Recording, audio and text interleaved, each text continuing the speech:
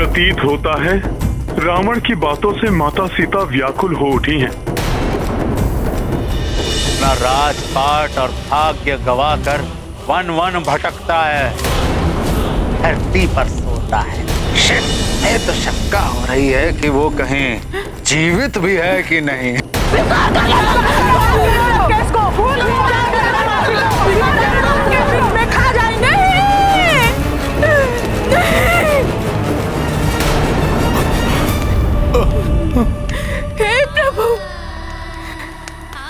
मृग की तृष्णा इतनी भयंकर हो सकती है? इसकी कल्पना तक नहीं की थी मैंने। एक निरह पशु की माया में आकर दूसरे हिंसक पशु के माया जाल में फंस गई मैं। इस मृग तृष्णा का ही परिणाम है ये जो बार बार मुझे अपने पति का अपमान सहना पड़ रहा है। तुम्हारी भलाई इसी में है कि भूल जाओ उस भिक्षुक पति को। स्वीकार कर लो महाराज रावण को। रावण ही नहीं वो तुच्छ राक्षसियाँ भी मेरे स्वामी के प्रति अपमानजनक भाषा का प्रयोग कर रही है, जो स्वामी का नाम लेने योग्य भी नहीं है। रघुकुल की प्रतिष्ठा को धूल धूसरित कर दिया है मैंने। उस दिन उनकी बात ना मानकर उनका अपमान क्या किया? आज औरों के मुख से उनके प्रति अपमानजनक बातें सुननी पड़ रही है मुझे। समस्त रघुकुल अपमानित हो रहे हैं आज मेरे कारण। कदाचित इसीलिए अब तक वो मुझे लेने नहीं आए। उनकी बात ना मानने का ही दंड है ये।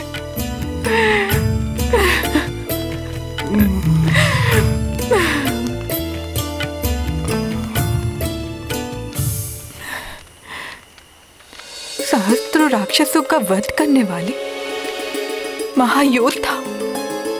मेरे स्वामी। रावण का अंत करने अब तक क्यों नहीं आए?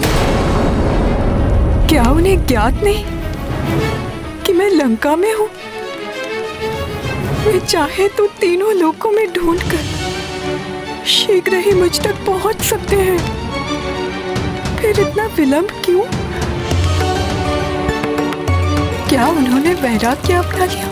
या मेरे वियोग में क्षत्रिय धर्म त्याग कर सन्यासी बन गए वे।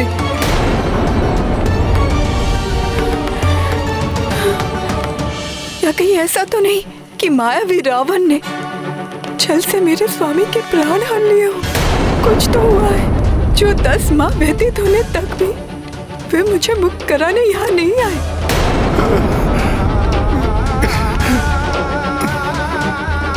ऐसी स्थिति में मैं स्वयं भी जीवित रहकर क्या करूँगी? मैं जीवित नहीं रहूँगी।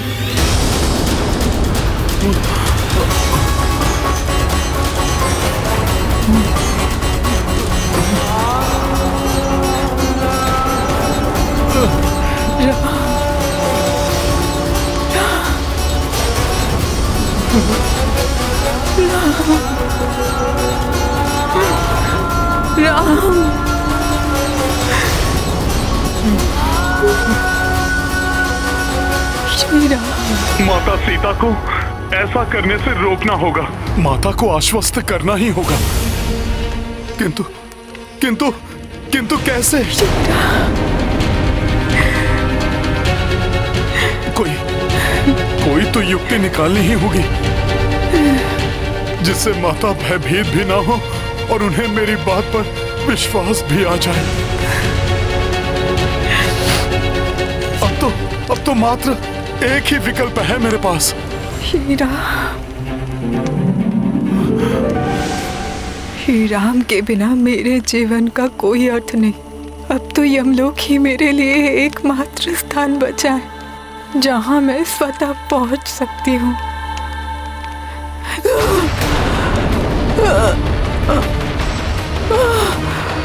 नहीं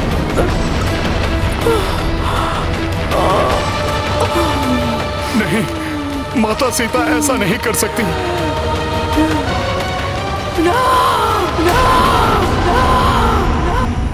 सीते सीते सीते सीते।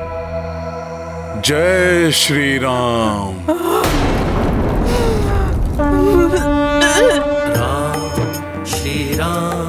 श्री राम जय जय राम।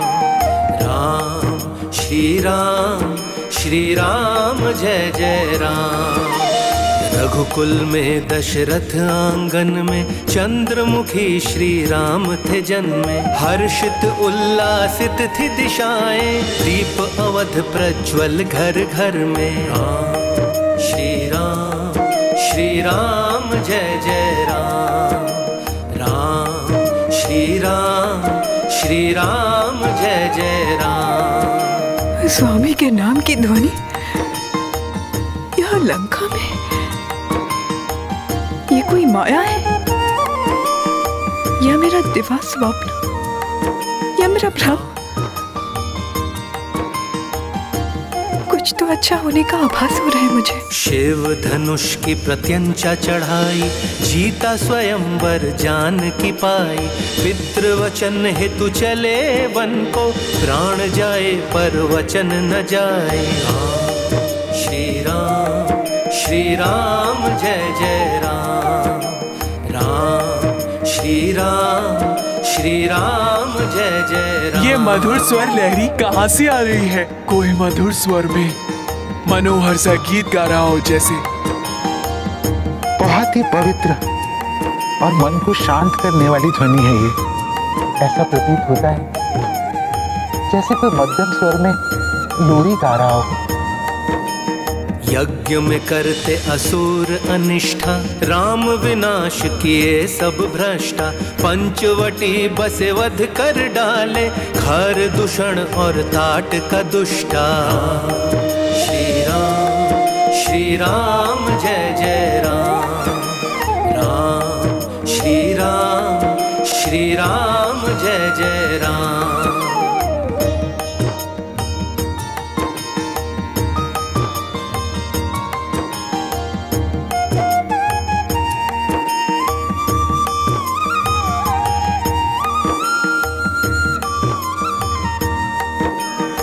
शोक राम को विधि ने लेखी, रावण ने हर ली बैदेही। किशकिधा सुग्रीव मिले तब, राम किए वध वाली अधर्मी। राम, श्री राम श्री राम, जय जय राम।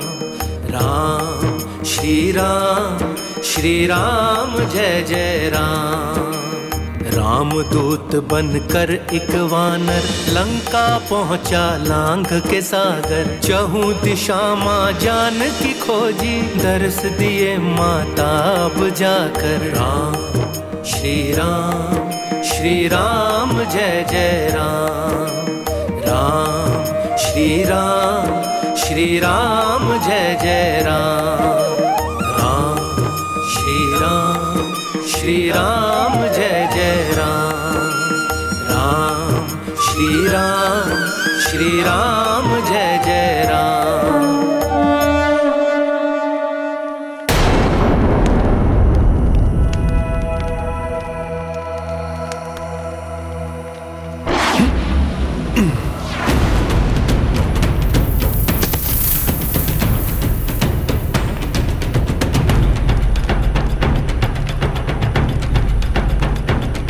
प्रणाम माता।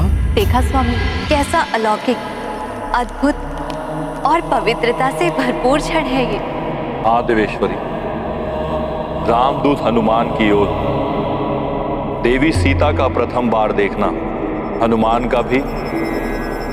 अपनी श्रद्धेय माता सीता का ये प्रथम दर्शन, इन दोनों के दर्शनों का ये प्रथम क्षण, श्री राम की कथा में, सिद्धि सर्ग के रूप में, जग प्रसिद्ध होगा। जो मनुष्य इस दृश्य का मन में भी अवलोकन करेगा या इसके बारे में पढ़ेगा या सुनेगा, उस पर श्री राम देवी सीता और रामदूत हनुमान तीनों की अपार कृपा होगी। उन्हें सिद्धि एवं बुद्धि की प्राप्ति होगी।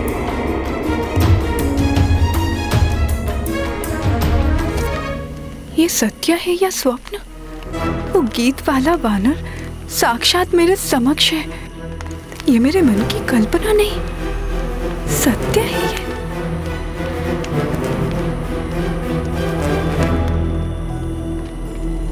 प्रभु श्री राम के नाम मात्र से माता का मुखड़ा प्रफुल्लित हो उठा है। जैसे घने मेघ छट जाने से सूर्यदेव चमक उठते हैं। विरह के अंधकार में आशा का सूर्य आलोकित करने वाले ये वानर श्रेष्ठ जो भी हो। हे प्रभु बृहस्पति, मेरी प्रार्थना है कि इनका कथन सर्वथा सत्य हो।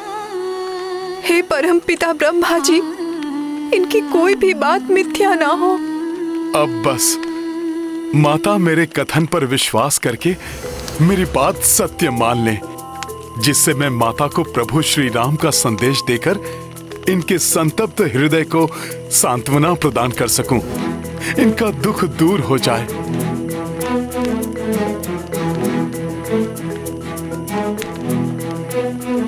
कौन हो तुम? मेरे समक्ष आओ और अपना परिचय दो। स्मरण रहे, यदि मेरे साथ कोई माया या छल करने का प्रयास भी किया तो तुम्हारे लिए अहितकर होगा।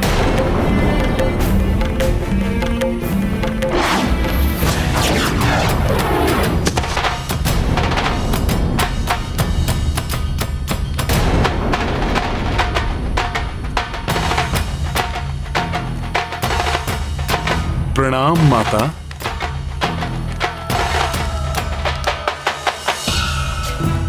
भक्त कभी अपने आराध्य से छल नहीं कर सकते, माता। माता, आप जिन प्रभु श्री राम की प्राण हैं, मैं उन श्री राम का एक तुच्छ सा दूत हूँ, जिसे स्वयं प्रभु श्री राम ने आपको ढूँढने के लिए भेजा है।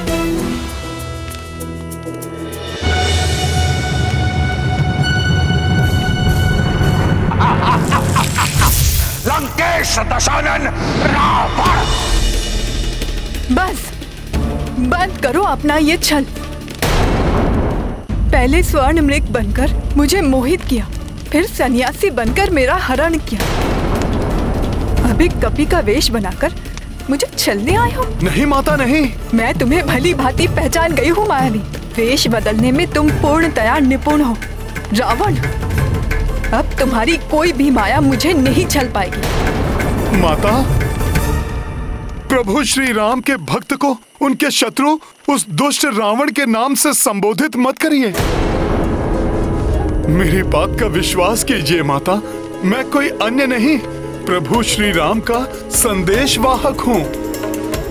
प्रभु श्री राम का दूत हूँ मैं माता।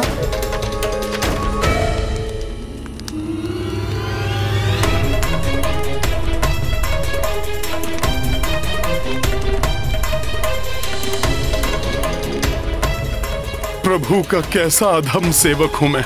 माता सीता का विश्वास भी नहीं पा सका। दुष्ट रावण समझकर उन्होंने मुझसे अपना मुख फेर लिया। कैसी दुविधा है। मेरा हृदय कहता है ये वानर अवश्य रामदूत है। मेरे स्वामी ने ही इसे मेरे पास भेजा है। परंतु मन कहता है कि ये भी उस दुष्ट छदमी रावण का कोई छल है। किस पर विश्वास करूँ? माता विश्वास कीजिए मेरा। मैं सत्य कहता हूँ मैं रामदूत ही हूँ। मैं वानर हनुमान प्रभु श्री राम का अनन्य भक्त हूँ। और उनके आदेश पर मैं आपको यहाँ ढूँढने प्रस्तुत हुआ हूँ माता। एक वानर प्रभु श्री राम का दूत? ये कैसे संभव है? माता मैं आपको विस्तार से बताता हूँ। जब आपको ढूंढते हुए वलकल वस्त्रधारी नरसिंहों के समान पराक्रमी, दो शूरवीर धनुर्धारी, प्रभु श्री राम और उनके अनुज भ्राता लक्ष्मण ने ऋषिमुख पर्वत की सीमा में प्रवेश किया तो उन्हें अपने भ्राता वाली के सहयोगी जानकर वानर राज सुग्रीव अपने जीवन को लेकर भयाक्रांत हुए। तब उनके निकट जाकर मुझे उन वनवासी राजपुरुषों की दिव्यता और महानता का बोध हुआ। तुम्हारे दिव्य कर्ण कुंडल और कंठार तुम्हारी पहचान है हनुमान। और मैं उन्हें अपने कांधे पर बैठाकर महाराज सुग्रीव के समीप ले गया। उसी दिवस प्रभु श्री राम और महाराज सुग्रीव के मध्य एक अक्षुण्ण मैत्री स्थापित हुई। दोनों ही अपनी भार्या के वियोग से त्रस्त थे। और उन्होंने एक दूसरे की सहायता करने का प्रण लिया। तत्पश्चात प्रभु श्री राम ने महाराज सुग्रीव के अग्रज वाली का वध कर अपना वचन निभाया। तो महाराज सुग्रीव ने आपका समाचार प्राप्त करने दसों दिशाओं में अनेक योग्य वानर योद्धाओं को भेजा। मैं उन्हीं में से एक हूँ, माता। और ये मेरा सौभाग्य है कि मुझे आपके दर्शन प्राप्त हुए। हे माता, अब तो आपको विश्वास हो गया होगा माता, कि मैं प्रभु श्री राम का ही दूत हूँ।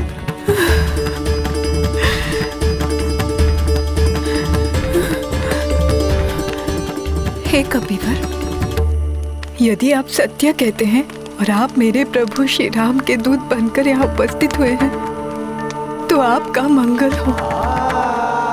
परंतु मेरा मन अभी भी अनेक शंकाओं से विचलित है।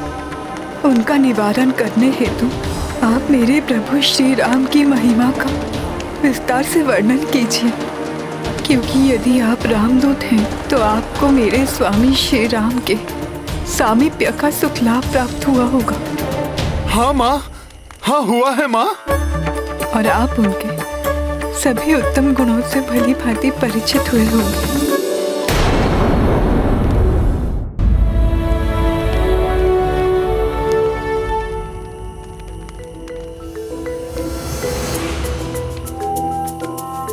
माता, आपके इन वचनों का श्रवण हनुमान के लिए अत्यंत सुखकर है। अपने आराध्य, प्रभु श्री राम का गुणगान करना तो मेरा परम सौभाग्य है।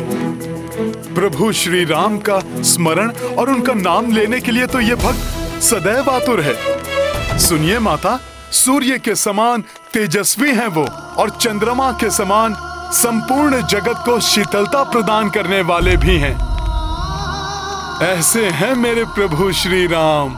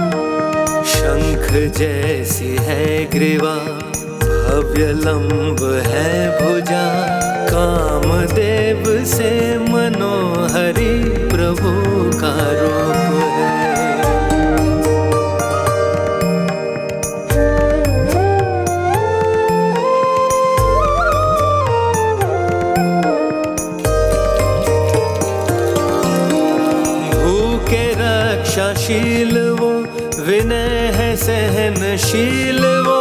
बृहस्पति के तुल्य रघुवीर ज्ञानवान है। भक्त के कृपाल वो, शत्रुओं के काल वो। धर्मराज के समान राम न्यायवान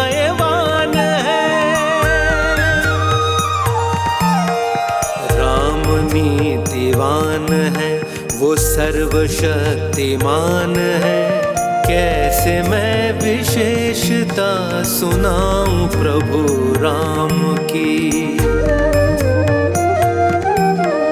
मन में लाख भाव है, शब्दों का अभाव है। मेरे ही मेरा चे बसे है राम ही राम है। मेरे ही मेरा चे बसे है, राम ही राम है। मेरे ही मेरा चे बसे है, राम ही राम है।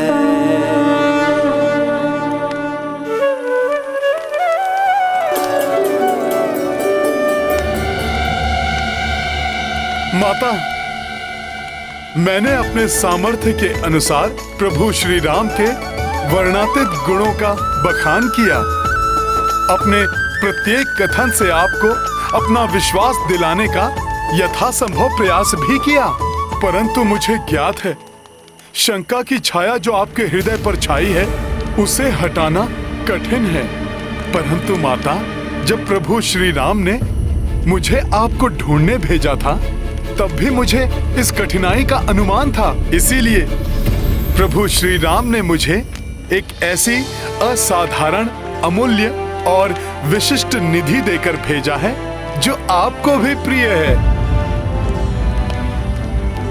और जिसे देखकर आप मुझ पर अवश्य विश्वास करेंगे। जय श्री राम जय श्री राम ये देखिए माता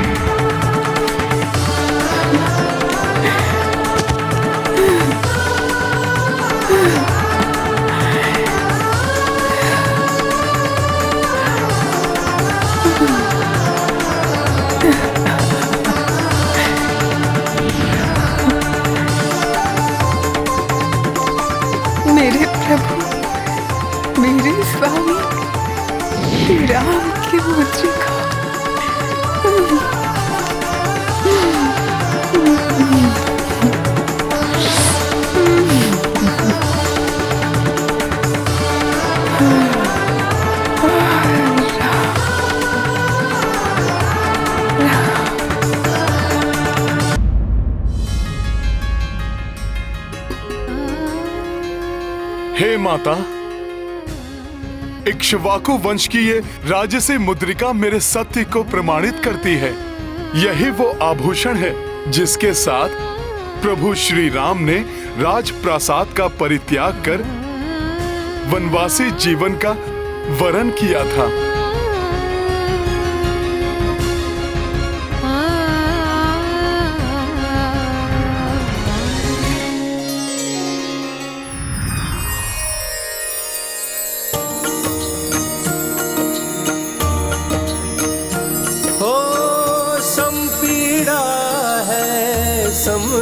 प्रसन्नता। दो तन, एक मन, राम वसीता। अश्रु आस में दो के ढल के देख हनुमत नैन बिछल के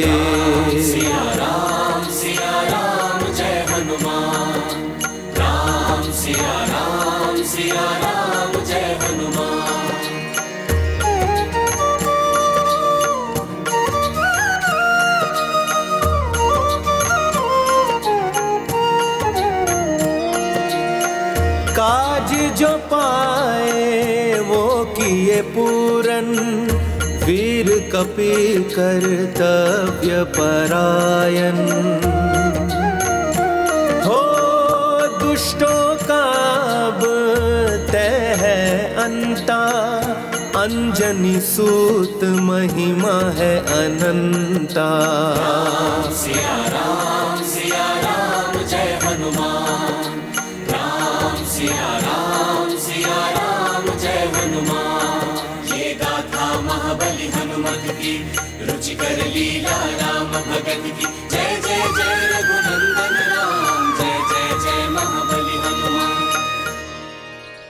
हे हनुमान, मरुभूमि की जलती धरती पर, जैसे माँ गंगा की पावन जल की शीतल धारा बह उठी हो रात्रि के भयावह अंधकार को भेद कर, जैसे सूर्य देव की प्रथम किरण ने चहु दिशाओं में प्रकाश और आनंद की तरंग बिखेरी हो, ऐसी ही अमृतमय वाणी है तुम्हारी हनुमान। ये दूतों में श्रेष्ठ हनुमान तुम्हारे मुख से इतना सुखद संवाद सुनकर मेरे सभी दुख मिटते प्रतीत होते हैं। हे पुत्र राक्षसों के इस नगरी में एकाकी प्रवेश प्राप्त करने का आपका पराक्रम, आपकी बुद्धि, कर्म, निष्ठा और सामर्थ्य अद्वितीय है। आपने मेरे स्वामी की का मेरे निकट लाकर मुझ पर बहुत बड़ा उपकार किया है। हे अपने प्रभु का ये चिन्ह दिखाकर आपने मुझे धन्य कर दिया है। मेरे लिया। मेरे स्वामी से मुझे जोड़कर मेरे हृदय को आपने शीतलता प्रदान की है। आपको बहुत बहुत धन्यवाद पुत्र।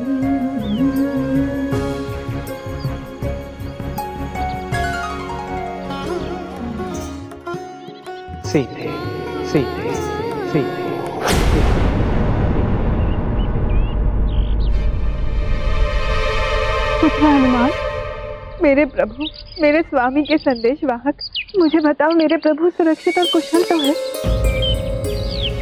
तो मुझे लेने क्यों नहीं आते?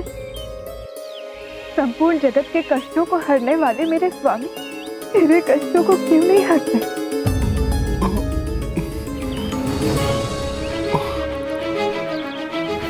हनुमान, क्या मुझसे दूर रहकर वो दुखी नहीं होती? क्या मेरे समान हृदय को चीर देने वाला दुख उन्हें प्रताड़ित नहीं करता पुत्र हनुमान, मुझे बताओ, क्या मेरे स्वामी अपने पुरुषार्थ का भली भांति निर्वाह कर रहे हैं? क्या वो अपने समस्त धर्मों का उचित रूप से पालन कर रहे हैं? मुझे उनसे ये वियोग और सहन नहीं होता।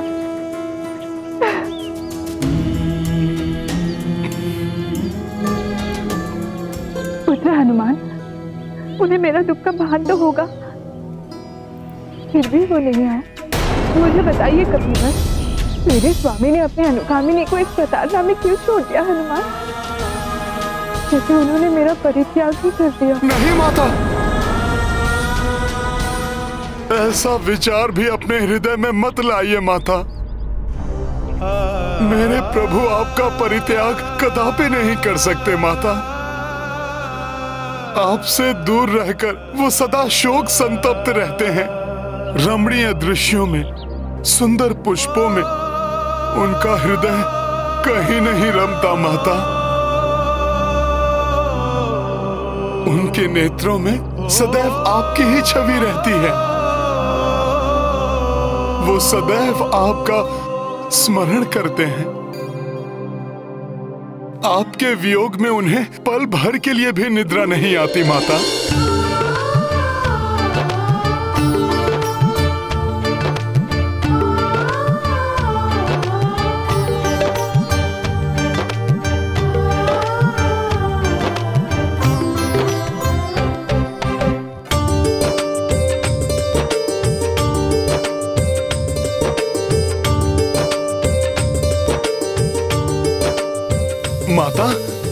मेरे यहाँ से प्रस्थान करने के पश्चात जैसे ही उन्हें आपका समाचार प्राप्त होगा, वो क्षणिक विलंब किए बिना भ्राता लक्ष्मण और महाराज सुग्रीव के साथ, असंख्य वानर एवं रीच योद्धाओं के साथ यहाँ उपस्थित होंगे।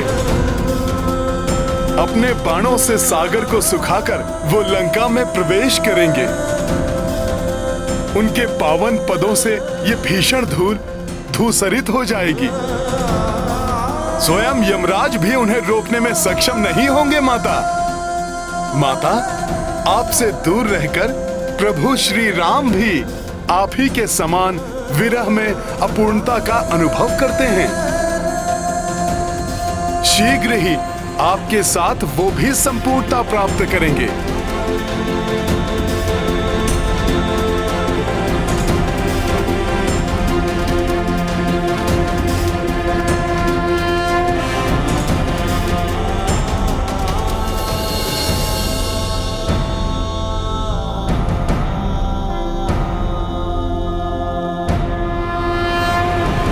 मुझे ऐसी सुखद अनुभूति हो रही है कि हनुमान ने सीता से भेंट कर उन्हें मेरी मुद्रिका प्रदान कर दी है।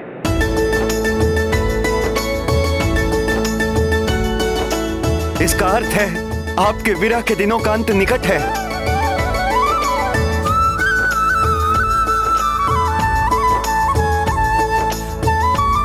हनुमान तुम्हारे कथन अनुसार स्वामी के हृदय में मेरे सिवाय अन्य और कोई विचार नहीं। मेरे वियोग में वो मेरे ही समान खूब संतप्त हैं। हनुमान, तुम्हारे वचन अमृत के समान सुखदायी है और विष के समान दुखदायी है। मेरे प्रति उनका स्नेह का वर्णन सुन। मुझे आनंद की अनुभूति होती है और उनको कष्ट में जानकर मेरा अंतर मन असहनीय पीड़ा से ग्रसित होता है दो माँ और मैं तुम्हारी प्रतीक्षा करूँगा। हे हनुमान शीघ्र जाकर उनसे कहिए कि उनकी सीता के पास अब अधिक समय नहीं है। उस उपद्रवी राक्षस ने मुझे मात्र दो माह का समय दिया है हनुमान। परंतु मैं इतनी प्रतीक्षा नहीं कर सकती। संभवतः और एक माह यदि तब तक मुझे मेरे स्वामी के दर्शन ना हुए। तो मैं उनके इस वियोग को नहीं सहन कर पाऊँगी। मैं अपने प्राण ध्यान दूँगी। पुत्र हनुमान, तुमने जो स्वामी की छवि मेरे समक्ष प्रस्तुत की है, उससे मेरा हृदय और भी व्याकुल हो उठा है। मेरे हृदय में प्रबल इच्छा हो रही है कि मैं किसी भी प्रकार अभी उनके समीप लौट जाऊँ। हाँ माता। हाँ। मैं अभी इसी क्षण आपको इस कष्ट से मुक्ति दिला सकता हूँ। आप मेरी पीठ पर बैठ जाएँ। मैं आपको प्रभु श्री राम के निकट ले जाऊँगा। माता, तनिक भी संकोच किए बिना मेरा प्रस्ताव स्वीकार कर लीजिए। इस समस्त लंका नगरी में ऐसा कोई नहीं जो मेरे मार्ग का कंटक बन सके या मुझे रोक सके।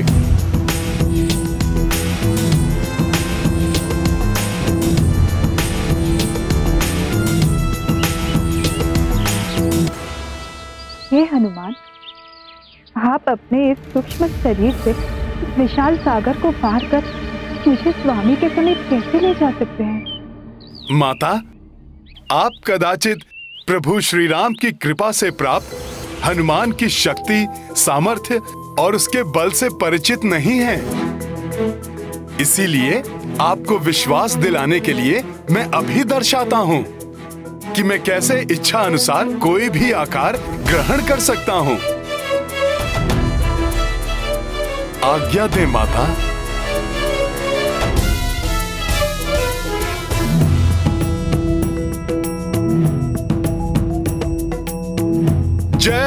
श्री राम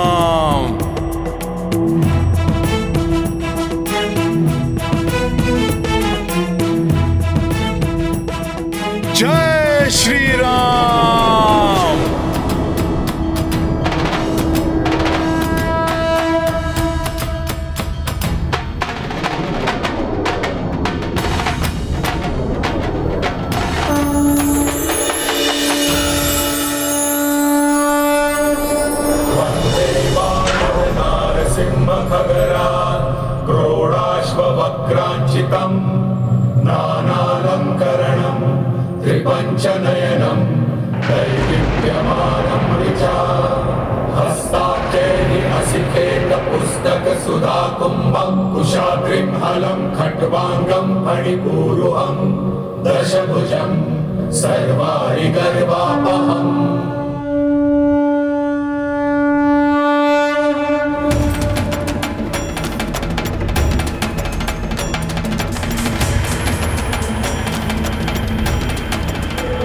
सूर्य के समान कैसा तेज पुंज? ऐसे तीव्र प्रकाश को उत्पन्न कर रहा है। हाँ? ये किसकी अद्भुत शक्ति से ऐसा प्रचंड तेज जागृत हो रहा है? ये लंका नगरी में अकस्मात क्या हो रहा है? हाँ? ये क्या है?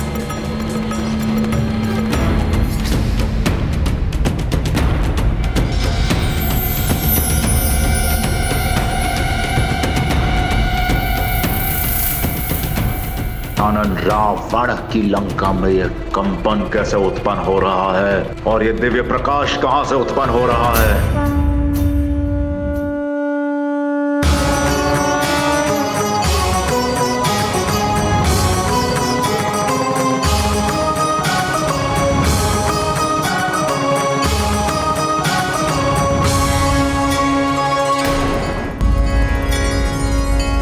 माता, मुझे आशा है कि अब आपके हृदय में मेरी शक्ति को लेकर कोई संदेह शेष नहीं रहा होगा।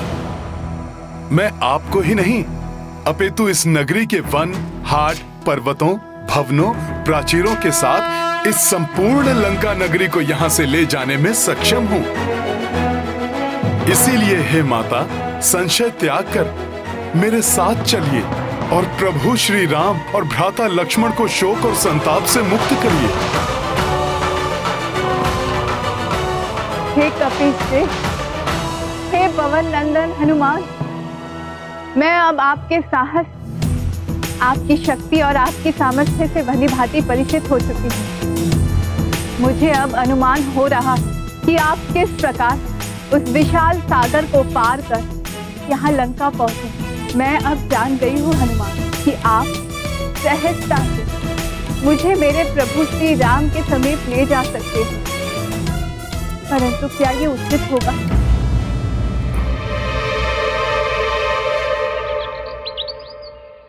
क्या प्रभु श्री राम का महान कार्य अपूर्ण तो नहीं रह जाएगा? जिसके कारण उनकी धवल कीर्ति में ठेस तो नहीं लगेगी माता? ये सब विचार कर मुझे विश्वास है कि आपके साथ मेरा जाना सर्वथा अनुचित होगा। उचित तो ये होगा पवन पुत्र हनुमान। कि मेरे पति श्री राम यहाँ आए और उस दुष्ट रावण का संहार कर मुझे यहाँ से ले जाए। हे कपिश्रेष्ठ हनुमान, अपने पति श्री राम के प्रति मेरे निष्ठा और समर्पण के कारण मैं उनके अतिरिक्त किसी भी अन्य पुरुष का स्पर्श नहीं कर सकती। इसीलिए मुझे अपने साथ ले जाने के स्थान पर मेरे स्वामी को महावीर सेनापतियों के साथ यहाँ लेकर आई हूँ। मैं दीर्घकाल से उनकी विरह की पीड़ा में जल रही हूँ, हनुमान।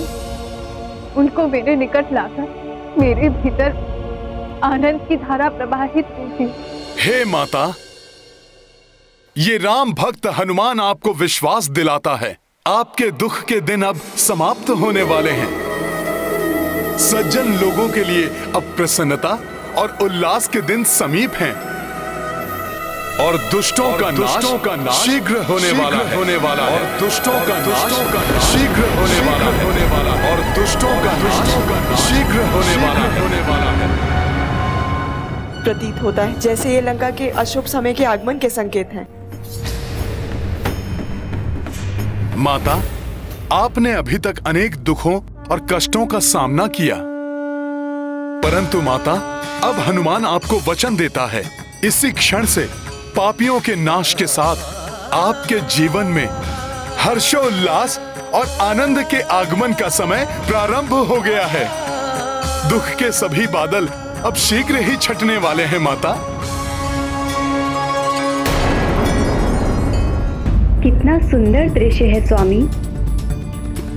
प्रिय सुंदर कांड को इसलिए सुंदर कहा जाता है क्योंकि इसके आरंभ होते ही संसार के समस्त संताप मिट जाते हैं।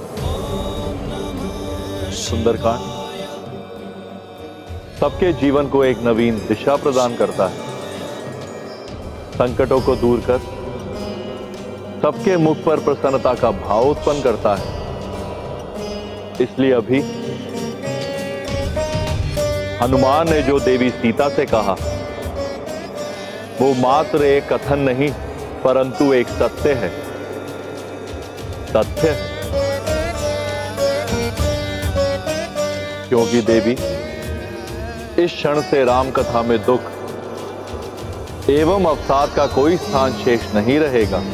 समस्त दिशाओं में आनंद की वर्षा होगी, पाप का विनाश होगा। जिसका आरंभ महाबली हनुमान करेंगे। पापीगण केसरी नंदन हनुमान का ये भीषण रूप देखकर आतंकित हो जाएँगे।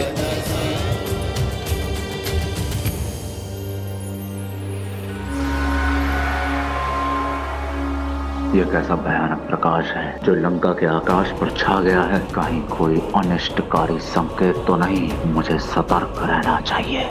हनुमान पुत्र मेरे हृदय में अब कोई संशय शेष नहीं। मुझे ये पूर्ण विश्वास हो गया है। मेरे दुखों का अंत शीघ्र होगा। हे कपी कपीश, अब तुम मुझे पुत्र रूप में दर्शन दो, हनुमान। जो आज्ञा माता। जय श्री राम।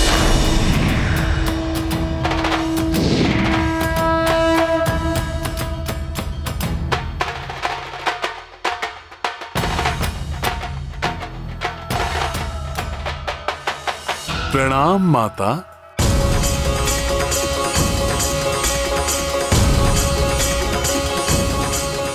ये कैसा मायावी वानर है जो इच्छा अनुसार आकार धारण करता है और इसने लंका में प्रवेश करने का असंभव कार्य कैसे पूर्ण किया? स्मरण करो क्या कहा था त्रिजटा ने देवी सीता का आना साक्षात मृत्यु से देवी का आगमन है।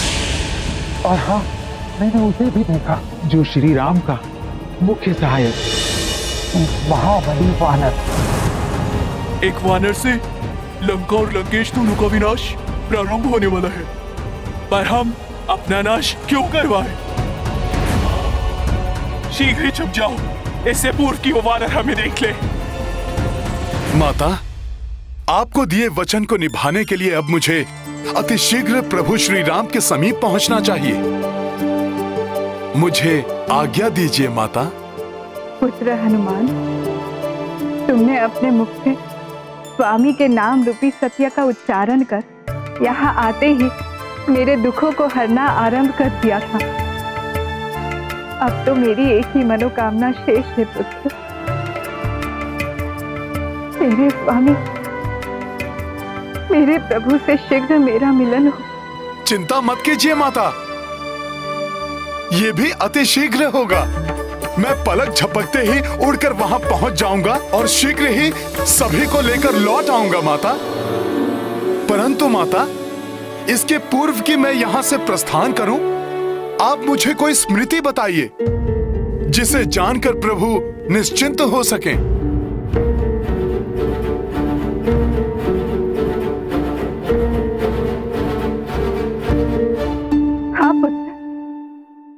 अपने स्वामी, अपने प्रियतम के साथ बिताए हुए समय की कुछ स्मृतियाँ हैं, जो मेरे सिवाय मेरे प्रभु श्री राम को ही ज्ञात है।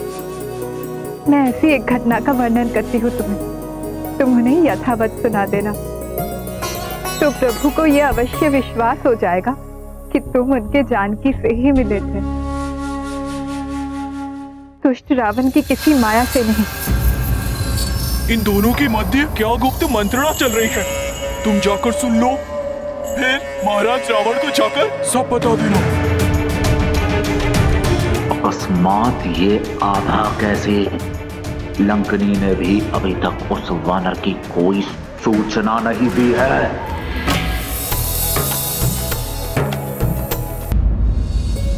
माता इसके पूर्व की मैं यहाँ से प्रस्थान करूँ आप मुझे कोई स्मृति बताइए। जिसे जानकर प्रभु निश्चिंत हो सके। हाँ पुत्र। अपने स्वामी अपने प्रियतम के साथ बिताए हुए समय की कुछ स्मृतियाँ हैं, जो मेरे सिवाय मेरे प्रभु श्री राम को ही ज्ञात है। मैं ऐसी एक घटना का वर्णन करती हूँ तुम्हें। तुम उन्हें यथावत सुना देना। मुझे इस दिव्य वानर के बारे में?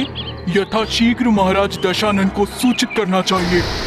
आप जैसा कहेंगी मैं वैसा ही प्रभु श्री राम को सुना दूँगा। एक बार चित्रकूट के वन में स्थित एक उपवन में जब प्रभु मेरी बाह पर अपनी शीश टिकाकर गहन निद्रा में मग्न हो गए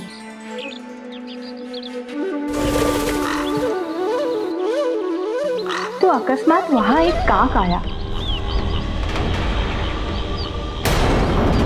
उस काक ने स्वामी की निद्रा में विघ्न उत्पन्न करना आरंभ कर दिया।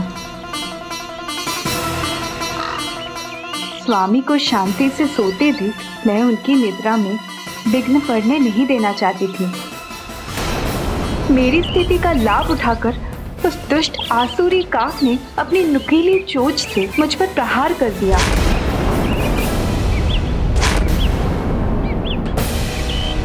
मेरी स्थिति का लाभ उठाते हुए, उस राक्षसी प्रवृत्ति वाले दूत ने बार बार मुझ पे आघात करता रहा।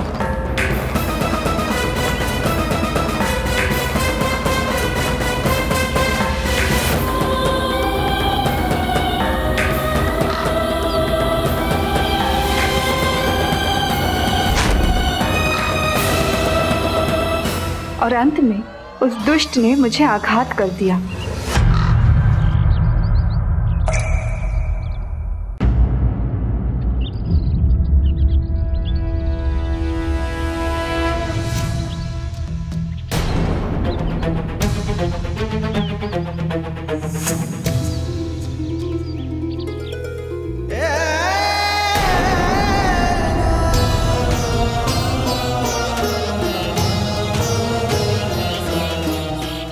क्या सीधे तुम्हारी कोमल काय पर आघात करने का दुस्साहस किसने किया?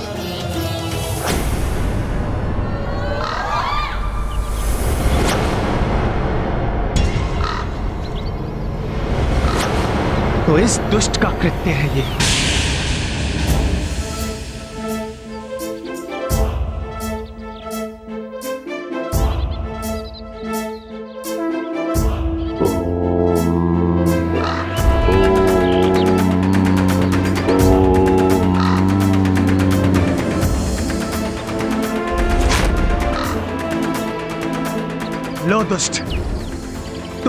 सीता को जो पीड़ा पहुंचाई है अब उसका दंड भोगो।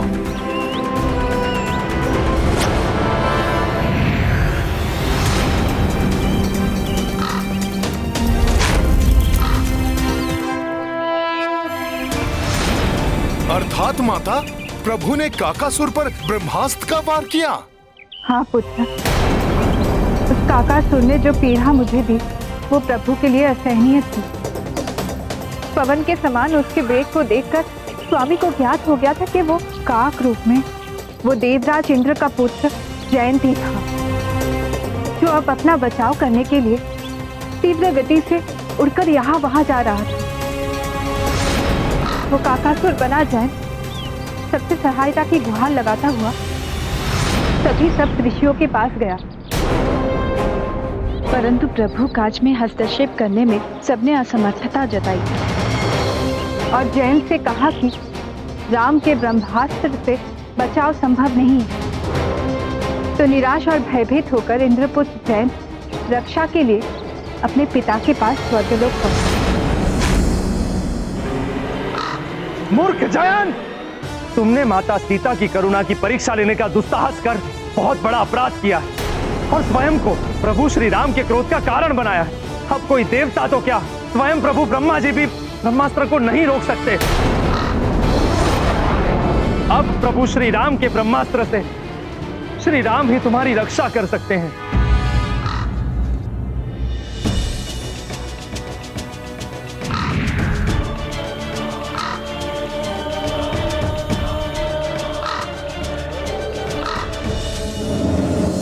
क्षमा कीजिए प्रभु, क्षमा कीजिए।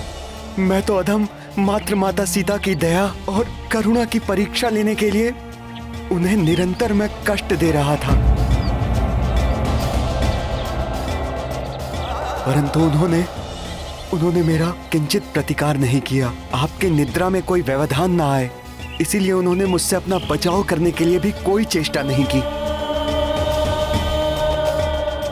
परंतु प्रभु, मुझे ज्ञात है कि ये मेरी मूर्खता ही थी।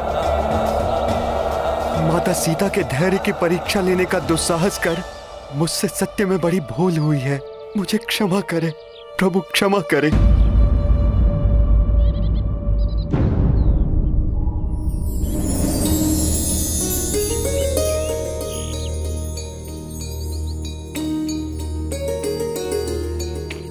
तुमने अपना दोष स्वीकार किया जयन मैं इसकी सराहना करता हूँ। परंतु मैं अपने ब्रह्मास्त्र को रोक नहीं सकता। वो व्यर्थ नहीं जा सकता। मैंने जो अपराध किया है उसका दंड तो मुझे अवश्य मिलना चाहिए प्रभु। मेरे दाहिने नेत्र की दृष्टि सर्वप्रथम आप दोनों पर पड़ी थी जिसके कारण मेरे मन में मूर्खतापूर्ण को विचार जागृत हुआ। हे प्रभु आप कृपा कर अपने ब्रह्मास्त्र को मेरे इसी नेत्र पर केंद्रित कर मुझे दंडित करें। परंतु मेरे प्राण मत हरिए।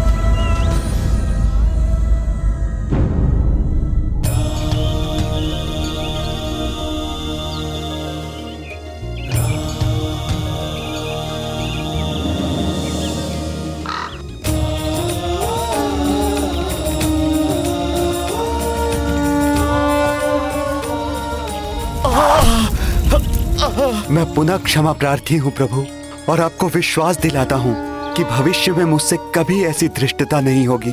जयंत, तुम अपने कृत्य पर लज्जित हो, और तुमने क्षमा याचना भी की है। इसलिए मैं तुम्हें वर देता हूँ कि तुम अपने एक नेत्र से ही वो सब देख सकोगे, जो दोनों नेत्रों वालों की दृष्टि से अदृश्य रहता है। तुम सभी पितरों और अन्य असंतुष्ट आत्माओं के दर्शन करने में सक्षम रहोगे। तुम्हें दीर्घ आयु प्राप्त होगी। और जो भी अपने पुरखों को सम्मानित करते समय, अर्थात पितृपक्ष में तुम्हें भोजन देगा, उसके पितृ उससे संतुष्ट रहेंगे और शांति प्राप्त करेंगे।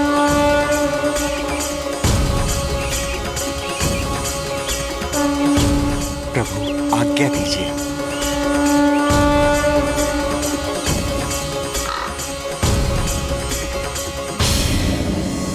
अच्छा माता इसीलिए कौओं को पिंडदान दिया जाता है क्योंकि उनकी दृष्टि वो देख सकती है जो अन्य जीवों की दृष्टि से ओझल रहता है। हाँ पुत्र पराक्रम के सिंधु मेरे स्वामी ने मेरे प्रति आसुरी प्रवृत्ति दिखाने वाले एक छोटे और तुच्छ प्राणी पर भी अपना ब्रह्मास्त्र प्रक्षेपित कर दिया था। अब ये सीता इसी प्रतीक्षा की अग्नि में जल रही है कि कब मेरे स्वामी आए।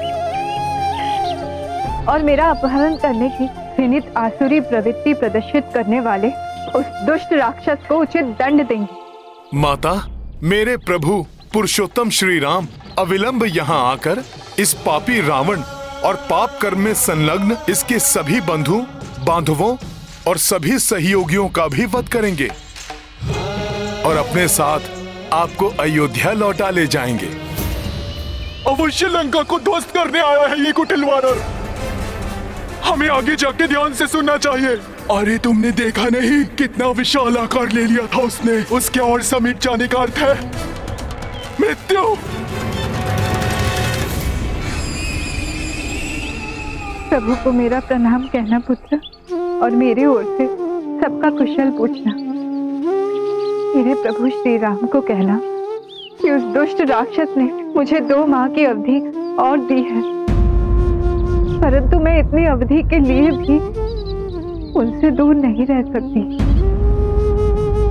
मैं उनके वियोग में एक मास अधिक जीवित नहीं रहूँगी। हनुमान मेरे नाथ से कहना कि उस अवधि के पूर्व यहाँ आकर मुझे यहाँ से मुक्त करा कर ले जाए। अवश्य माता। अब विलंब का कोई कारण नहीं। मैं आपके इस संदेश के साथ इसी क्षण यहाँ से प्रस्थान करता हूँ।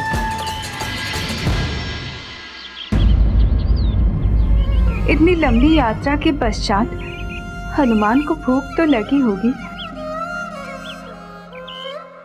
कैसी अभागी माता हूँ मैं पुत्र? तुम्हें भोजन कराने में भी असमर्थ हूँ मैं पुत्र। जिससे तुम्हें अपनी कठिन यात्रा के लिए ऊर्जा प्राप्त हो। मेरी इच्छा तो हो रही है कि अपने हाथों से स्वादिष्ट व्यंजन पकाकर तुम्हें खिलाऊं। परंतु दुर्भाग्य से ये यहाँ संभव नहीं है पुत्र। माता मैंने तो अल्प समय के लिए ही भोजन का परित्याग किया है, जिससे मैं प्रभु श्री राम का ये कार्य पूर्ण निष्ठा से कर सकूँ। परंतु माता, आपने भी तो दस माह से भोजन का एक ग्रास भी ग्रहण नहीं किया है। मैंने कुछ नहीं ग्रहण किया है। वो मेरा प्रण है पुत्र। परंतु तुम्हें भोजन करते देख मेरी शुद्धा भी शांत हो जाती मेरा हृदय तृप्त हो जाता पुत्र। यदि ऐसा है माता तो मैं अभी इसे संभव बना देता हूँ। इतने मधुर और रसीले फलों से लदे वृक्षों से सज्जित इस वाटिका को देखकर किसका जी नहीं ललचाएगा माता? फिर आपका ये पुत्र तो एक वानर है। यदि आपकी आज्ञा हो तो मैं इस वाटिका के फल खाकर अपनी भूख मिटा लेता हूँ माता। हाँ हाँ अवश्य पुत्र परंतु ये मेरा वचन है तुम्हें पुत्र। मैं अति शीघ्र अपने हाथों से भोजन पकाकर तुम्हें परोसने का सौभाग्य प्राप्त करूँगी। ये तो मेरा परम सौभाग्य होगा माता। मैं उस दिन की प्रतीक्षा करूँगा। परंतु अब मुझसे रुका नहीं जा रहा है माता। वाटिका के फल मेरी प्रतीक्षा जो कर रहे हैं। जाओ पुत्र हनुमान। परंतु सतर्क रहना। मैं नहीं चाहती कि तुम्हें कोई क्षति पहुँचे।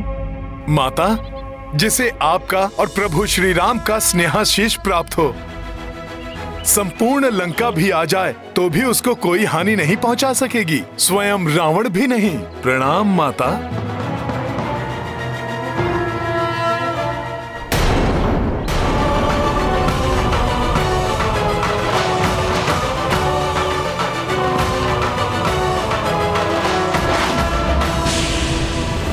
अरे, ये उत्पाती वानर अब अशोक वाटिका के फलों को खाने जा रहा है। मुझे जाकर अशोक वाटिका के रक्षकों को सचेत करना होगा।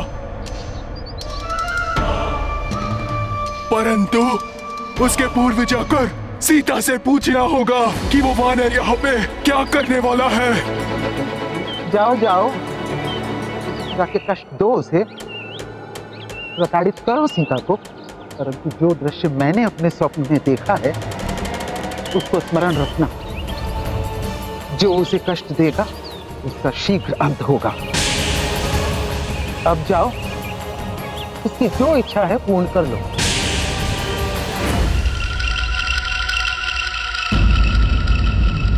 कहीं त्रिजटा का स्वप्न सत्य होना तो प्रारंभ नहीं हो गया।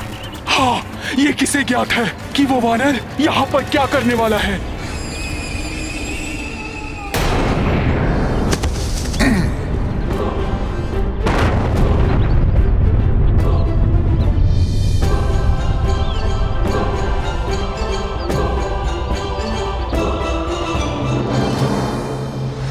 यह अशोक वाटिका हमें सबसे अधिक प्रिय है।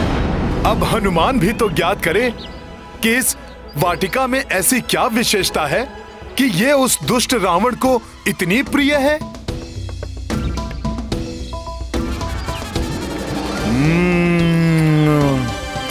हो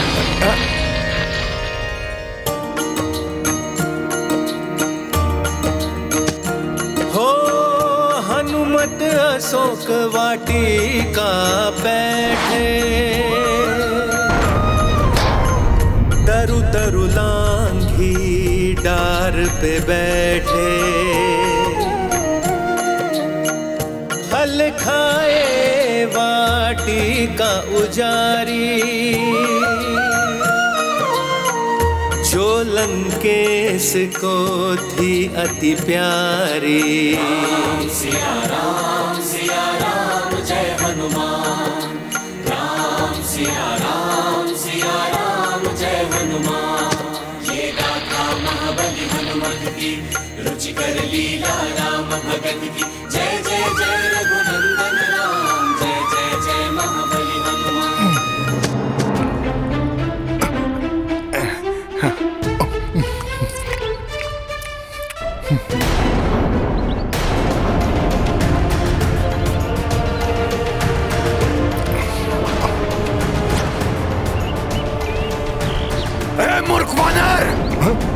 जाओ।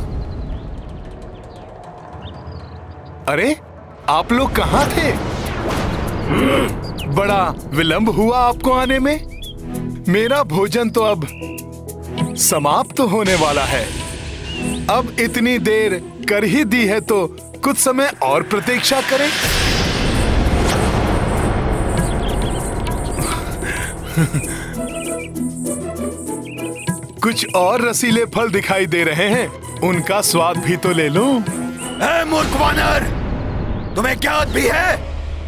अज्ञानतावश कहाँ प्रवेश किए हो? नहीं सैनिक जी आप ही बता दीजिए। ये दशानन रावण की लंका है।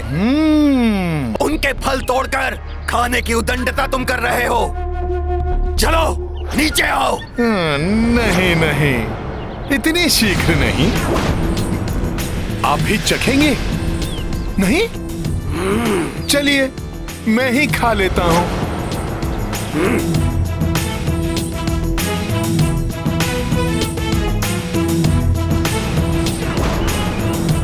अरे, ये तो सुन ही नहीं रहा है। चिंता मत करो, वानर। जब हम तुम्हें पकड़कर महाराज लंकेश के समक्ष प्रस्तुत करेंगे, तब तुम्हारा भोग लगाकर चबा चबा कर खाएँगे पूर्ण आनंद लेकर खाएँगे जैसे तुम उनके फलों को खा रहे हो। हम्म तब तो मुझे सभी फल चट कर जाने चाहिए। उससे मैं और भी स्वादिष्ट हो जाऊँगा। हम्म, बहुत स्वादिष्ट है।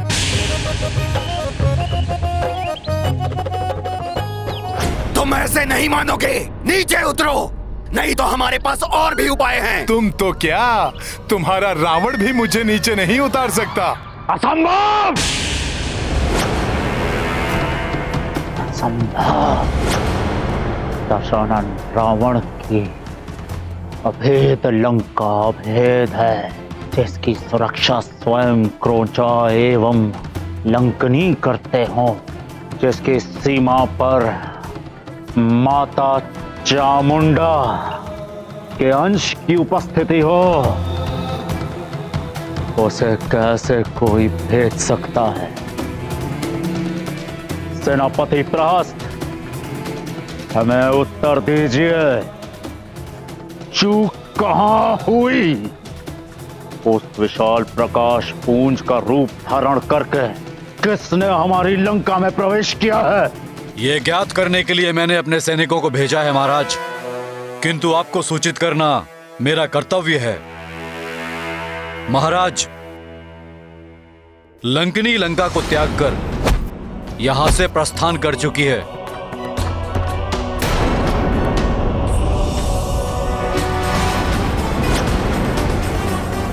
और हमारे गुप्तचरों के अनुसार, क्रोंचा का वध एक वानर के हाथों हो चुका है।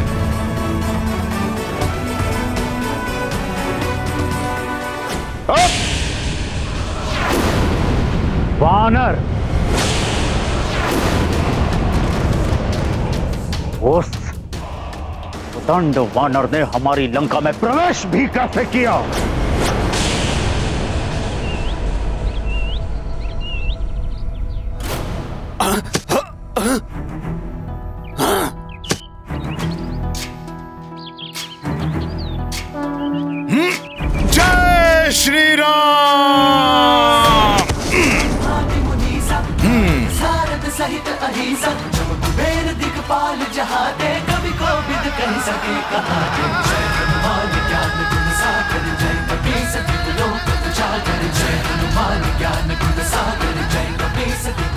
मैंने अपनी माता को वचन दिया है। मैं यहाँ अपना मन भर फलाहार करूँगा। इसलिए जब तक मैं तृप्त नहीं हो जाता, मैं तो ऐसे ही खाता रहूँगा। और ऐसा करने से मुझे कोई नहीं रोक सकता। तुम्हारा लंकेश रावण भी नहीं। मारो इसे!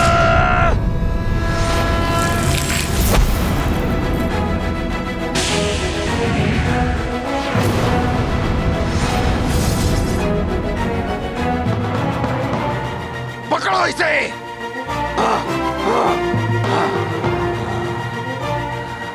हाँ हाँ। आओ आओ। मैंने तो तुम सभी को ये मीठे फल खाने के लिए आमंत्रित किया था।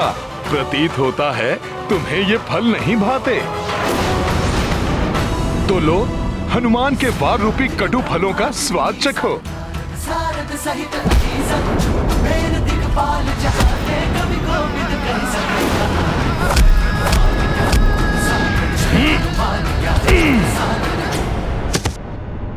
माँ किसी भी परिस्थिति में हो, परंतु पुत्र के प्रति उसकी चिंता और स्नेह सदैव समान ही रहते हैं और माँ का स्थान कोई नहीं ले सकता।